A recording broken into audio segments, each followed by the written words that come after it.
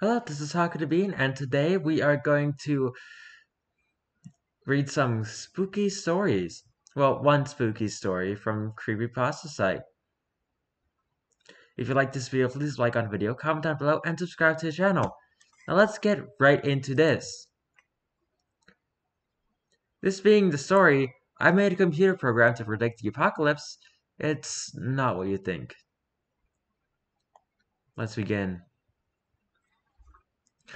It began as a like. Really, I woke up one morning from a dream about the apocalypse. No, not a Wild West apocalypse. Exactly how the world was ending wasn't clear. I just knew that it was, so I enrolled in the auto shop class at my local tech education center. I figured it would let me fill for supplies, stockpile things like spark plugs, brake pads, and alternator. By a light of day, it, eh, the idea seemed silly. When half the world is dying and nobody has gas, auto parts are trying to be are going to be lying around everywhere. Yours for the taking. Good luck trying to use them. But when I told my partner Max, he said there should be somewhere for people to call in such dreams. A database that would compile people's dreams about the apocalypse, see what the collective unconscious could tell us. Sound like a fun idea, and easy to do. I threw together a database and some simple code to extract themes, put up on a web, and figured nobody would find it. A week later, based on 24 replies, the hive mind was recommending we stockpile assault rifles and high capacity magazines. Makes sense. It seemed too obvious to have come out of people's dreams, even if my sample size was pathetically small. So I looked at a few of the entries. Here's a representation in a here is a representative example. I am a ninja swordsman with a cybernetic arm and with an AK. I am commander of elite team of assassins. We shoot zombies in the head. Wow.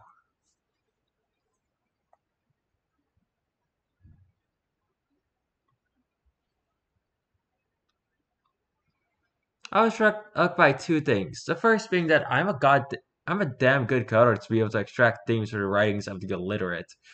The second was that the writer's dream looks an awful lot like a daytime fantasy. Some others were obviously not dreams. I can already tell you what's probably going to cause the apocalypse. It's probably um, corporate greed.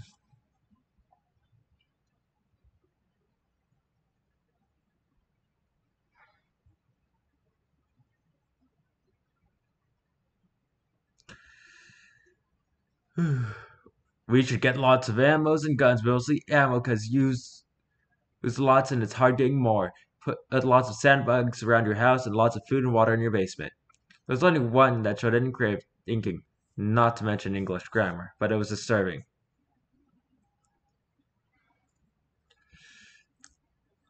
You will need to build a defensive perimeter around your base of operations. If you don't have, have a place in the country, I don't recommend trying to get one. Everyone will want one, so the ones that aren't well defended will be taken over by someone who will defend them. Instead, you should burn down all, the all neighboring houses to give yourself at least a full block of unbroken line of sight in all directions. When While dad's good advice is scary, it was clear my dream was corrupted and uh, my data was corrupted and people's actual dreams were lost in a mismatch of fantasies and advice. I explained my problem to Max one an evening over dinner. Wait, you actually did this? Yes. I, I shrugged. I thought it'd be fun, but I need to figure out how to stop people from entering stuff that isn't their dreams. Maybe instead of a submit button and add a query. This comes from a dream I had. Yes, no. Maybe, Max said thoughtfully, but if clicking no means they don't, don't get submit, some people will just click yes. Max was a therapist who worked in the local high school. He had a few illusions about people's ability to follow directions.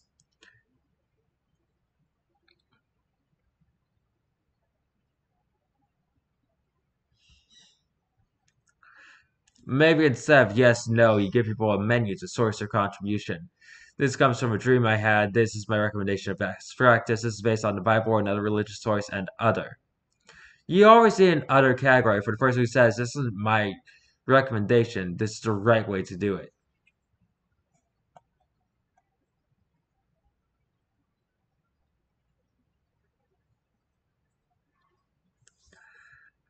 I considered this. It made sense. Instead of stopping people from entering non-dream material, I could get them to flag it and thank them for their contribution. Then it would be a simple matter to filter the non-dream material from the results. It only took a moment to add the query and the filter. Then my problem would be how to get enough people to participate that I had a reasonable sample size. I'm good at coding, not so good at marketing.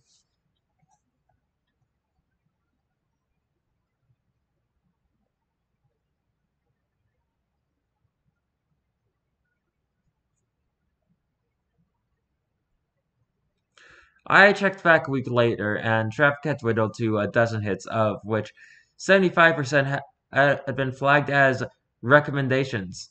Given that I'd had to toss the original 24, this left me with nearly nothing. A week later, six more hits, none of them dreams. I gave the project up as a failure. What inspired me to check back nearly three months later, I can't say. It may it just been and that popped into my mind for whatever reason. And I thought, hey, I wonder. But I checked. Over 36,000. The filter explained what had probably happened. 84% were based on the Bible. Someone was posted a link to an evangelical group, and they had great fun posting quoting Revelations and Daniel. With all every posting, 12% have been inspired to non-Bible based recommendations, and 4% had used the site as as intended. 4% of 36,000 is 1,400 entries.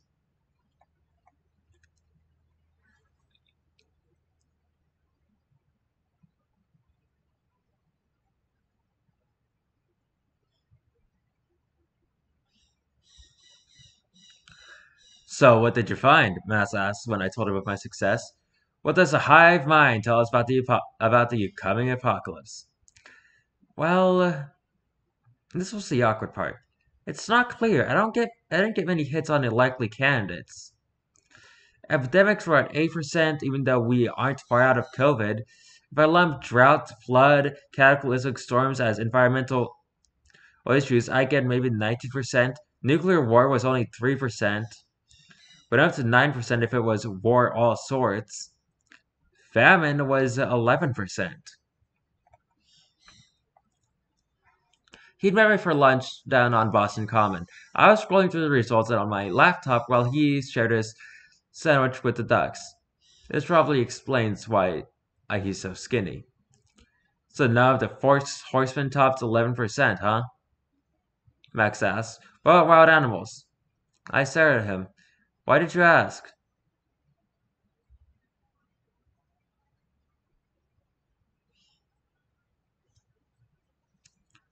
Oh, it's from Revelations, if you read it. The horsemen actually aren't named famine, war, and pestilence. The fourth horseman, who is named Death, is given the power to kill with famine, war, pestilence, and wild beasts. Somehow the first three charges got made into the names of the first three horses, and the fourth charge got left off. But it's in there officially. Go the ways to die at the end times. Well, that explains it, I said. What? Max asked. How high did Wild Beast score? 18%, more than Warren and Epidemics put together. But I think my sample was skewed to evangelical or Christians. I explained how my responses were overwhelmingly dominated by people quoting the Bible. A reason that many of those reporting their dreams might come from the same communities.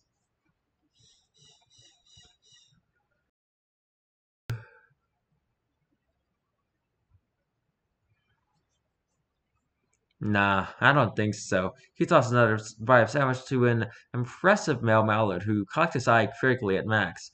As was, as was to say, Don't you know bread isn't good for ducks? Are you trying to poison us? Why not? I asked Max, not the duck. Well, you know, I've got a, a couple of cousins who were born again, right? I did.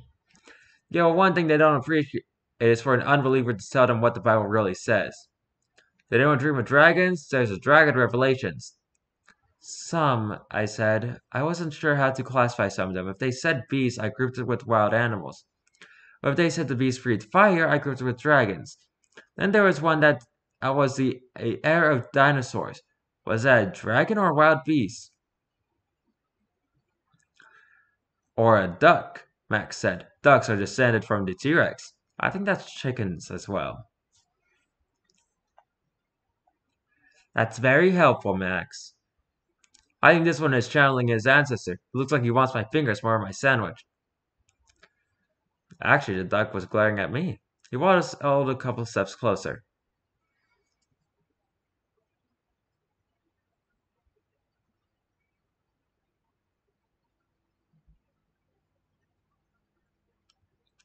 I turned the laptop around so I could see there was nothing behind it.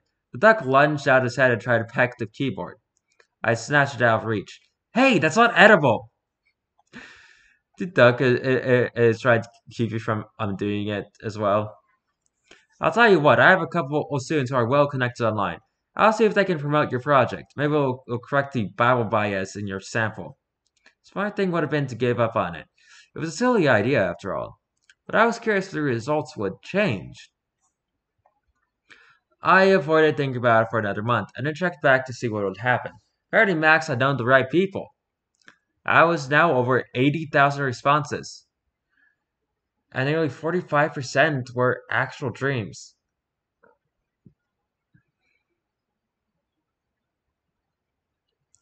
When you consider that my original Bible thumper is probably still made up 40% of my sample, that meant the great majority of Max's people had filled it out correctly. But the weird thing was that when I ran my sorting routine, the percentage didn't change much.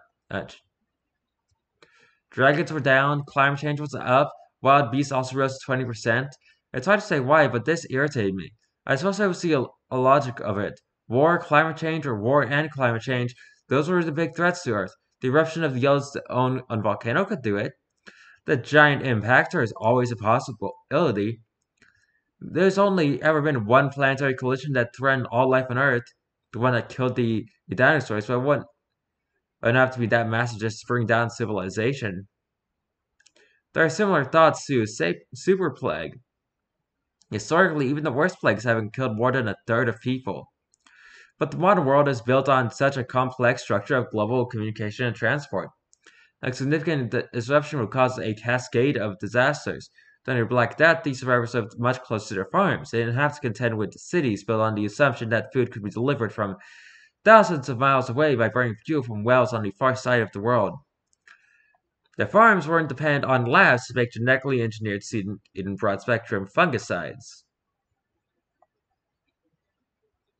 But wild animals? Seriously?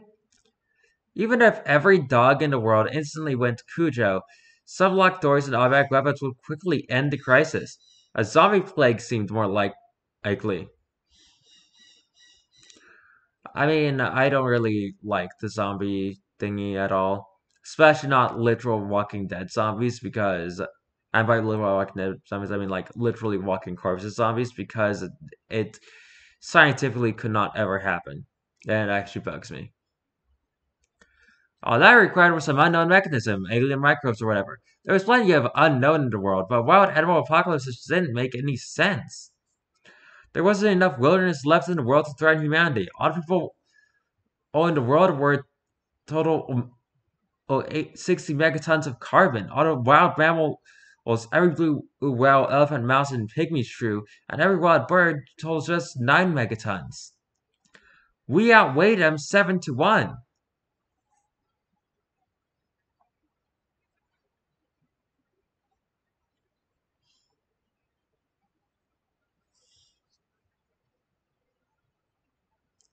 The other thing that bothered me and my data was the unclassifiable dreams.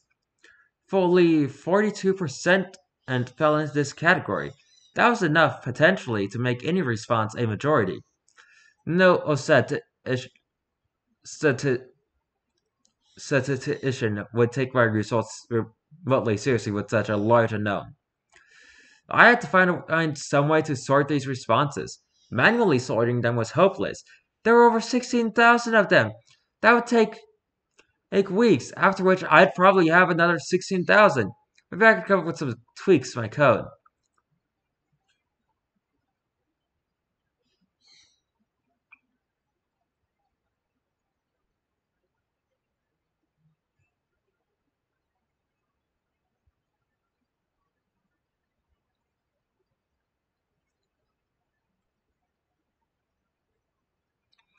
My problem was short entries like this. They came from the water in a line. One followed the other. Terrible. Terrible. It could mean anything. Aliens, lobsters, killer frogs, Russian frog, augment, sub-launched nuclear uh, missiles, ants, or this one. Toothless. They swallowed us whole. None survived. Maybe those killer frogs again. Frogs don't have teeth and they swallow you whole. Of course, the same could be said for owls or mudslides or tidal waves or flying saucers. We fed them in the park and they killed us. Pigeons? Homeless people? The ducks? The other thing I got out of this effort was a new category. They undefined, which actually became the highest scoring category of all, all at 31%. But considering that it was doubtless a polyphyletic category, that didn't mean anything. All I accomplished was splitting my other group into those I mentioned a day and those that didn't. The solution, of course, was AI. I could contract act with an AI vendor to process my results. My simple filtering routines were built around specific words, and depending on my ingenuity to think of auto variants and permutations. I might search for killer frogs using frogs and toads, so if some when I accidentally typed fog into frog, I'd classify it under weather, and I might be able to tell the difference between we could see them in the terrible icy fog, and the fog flicked out, out its tongue, snagged four people, and swallowed them whole.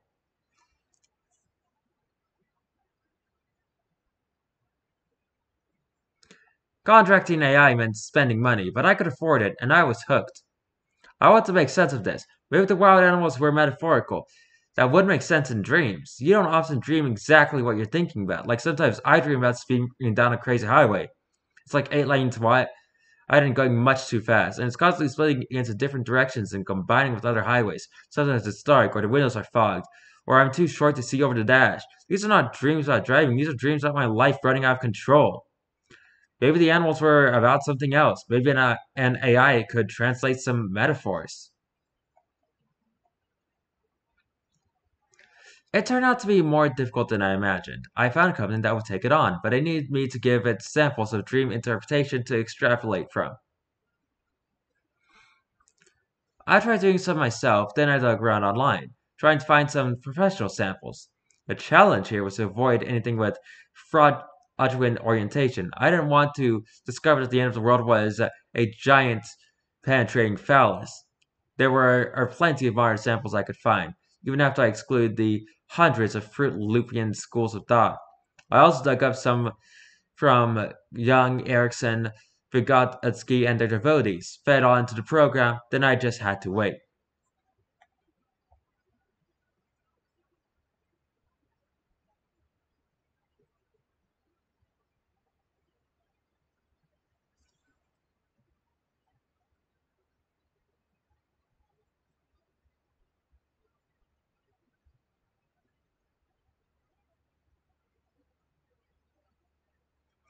While I waited, someone broke into our, our apartment.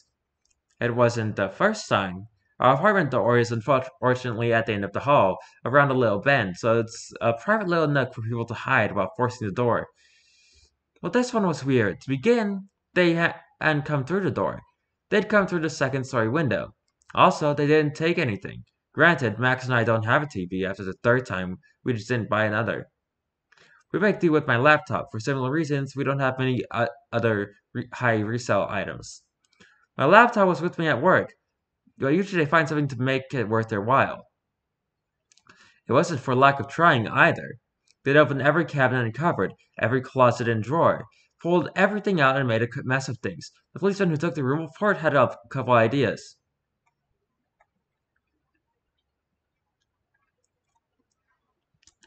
This reminds I'm sorry. This reminds me of, of people who knock over small time drug dealers. So I, I'm I, I, somebody thinks there's a stash of Oxy, Oxycontin in the house, they'll go crazy looking for it. He gave us critical eyes. You think we're drug dealers? Max looked at me. We both started laughing. The policeman laughed. No. No, I don't. Although I wasn't entirely persuaded he had been fishing to, to see what we'd say. Do you have any documents or heirloom um, items that any family member or acquaintance would want to get a hold of? He asked. Not that I can think of. Max was still laughing. Well, I've got the family jewels, but I always take them to school with me. Policeman stopped smiling. He went to the window and stuck his head out.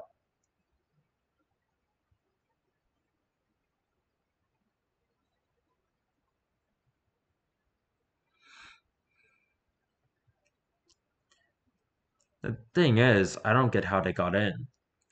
We're guessing it was the window? Max said. Knock it off, I whispered to him. The cop had already hinted he suspected of us of hiding drugs in the house. The last thing we wanted to do was piss him off or make him look for an excuse to charge us with something. This is the street side of the building. They weren't going to put a ladder up. It's a tree branch someone could have jumped from, I said. The cop scowled. In a comic book, maybe. Does anyone else have a key to your apartment? My mother, Max said. Even if she did want to search through all my stuff, she would definitely have cleaned up, up after herself.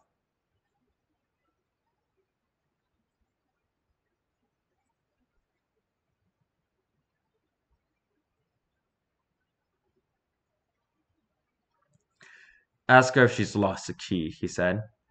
I don't think anybody came in in that window. I think someone came in through the door that and then broke the window to make it look like a robbery. I think you should uh, think through who you who know or might have wanted something of yours. Give me a call if you think of anything.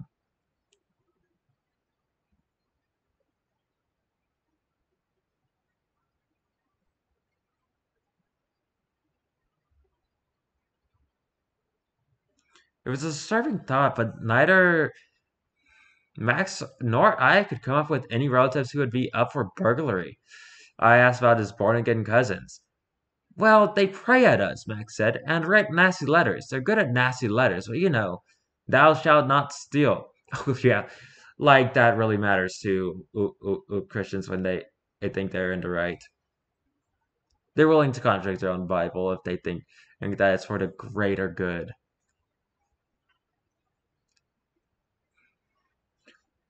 Look at the ones who murdered, even though, oh, apparently it's against the rules of their religion. A week later, I received a disturbing email from the AI vendor. They were going to be delayed in fulfilling a number of contracts due to the unexpected death of their lead engineering engineer in a plane crash. I'm not ordinarily paranoid, really, I'm not. But a week after the curious break-in, I was still looking for some explanation. I hadn't really formed any logical thought like someone killed him to prevent me discovering the nature of the apocalypse. I just wanted to know if it was possible the burglar could have learned who my vendor was during the break-in. I wanted to rule out the possibility, really prove to myself there couldn't be a connection. So I opened up the files we'd taken up the mess, but we were trying to figure out if there was anything worth claiming from the insurance. There wasn't.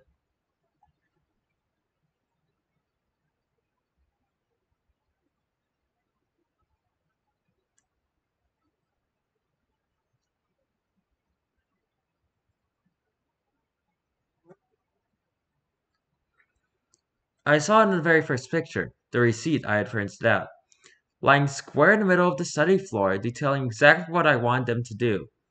So then I called up the news reports. And yes, the name on the receipt was the lead engineer crew had, had died.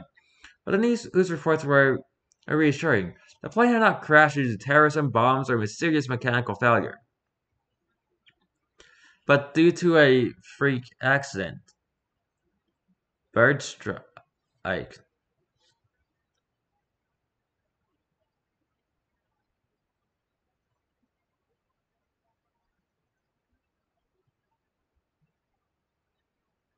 Hmm. During takeoff, the plane had sucked two Canadian geese into the jet engines. one on each side. Both engines had failed catastrophically. The planes had gone straight down. It was a pretty freakish accident, though. The article said that while bird strikes are a known aviation hazard, there were no record recorded instances of a simultaneous hit on both engines. Still, it ruled out the possibility that one of Max's born-again cousins intended on stopping us from disproving revelations and taking out a contract on the software engineer.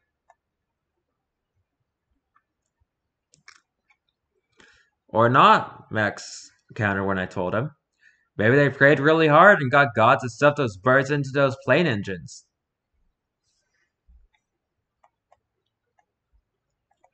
Right, I rolled my eyes at him. If they could do that, they could cure you of your, your sinful lifestyle, too. I don't know. I think earlier in the story they were talking about birds and other wildlife being a part of the apocalypse, and now here's wildlife trying to stop you from figuring that out. Right, I rolled my eyes at him. If they could do that, they could cure you of your sinful lifestyle too. More reasonably, there actually was an unusual crowd of migrating birds in Boston.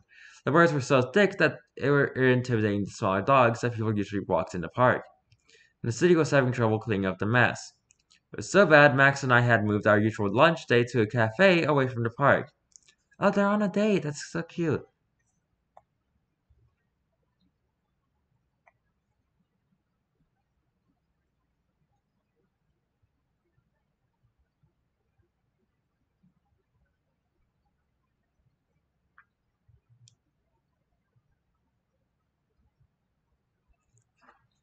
Three days later, we lost our internet connection. It was a freak accident, they said. Simultaneously, black ducks had caught had got out caught in seven different relay stations around Boston, electrocuting themselves and shorting out systems and bringing down the whole network. Dang, birds are going crazy. Particularly ducks and geese. There's coincidence, and then there's two ridiculous but similar coincidences in a row. Max, I asked him when he got home that evening, are geese a kind of duck? How should I know? I can't get online.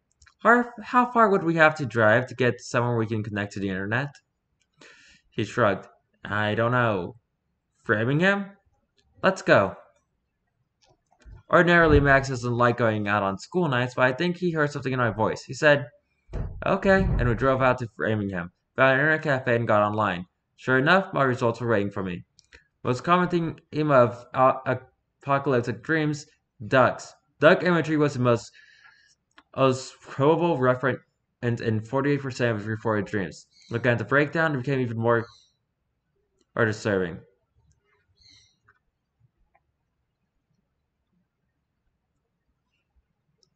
Wild animals, ducks, 48%. Wild animals, avian, undifferentiated, 6%. Wild animals, air-breathing aquatic animals, undifferentiated, 5%.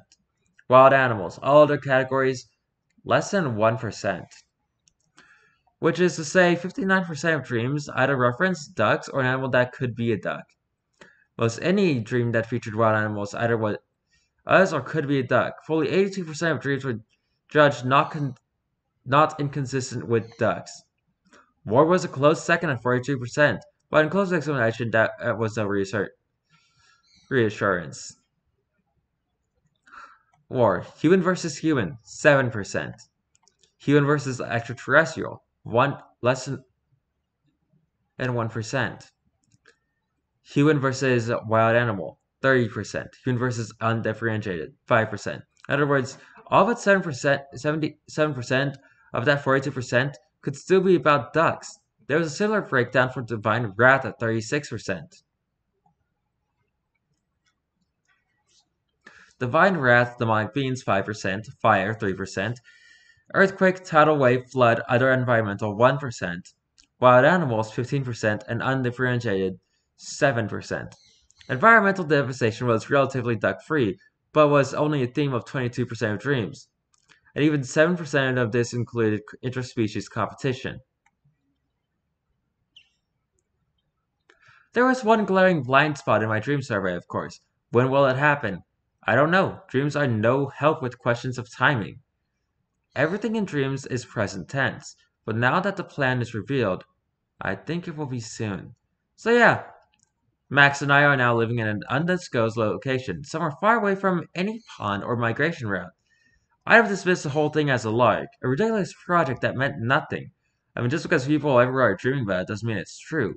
No one's ever proven that dreams predict the future. I'd have left the whole thing off.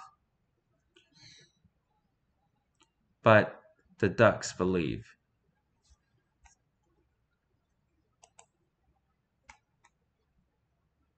I think that was supposed to be a, little bit more intimidating than it actually read out. Well, that was an interesting story. If you like this video, please like on the video, comment down below, and subscribe to the channel. I have no idea what I'm going to be doing tomorrow, so until then, goodbye!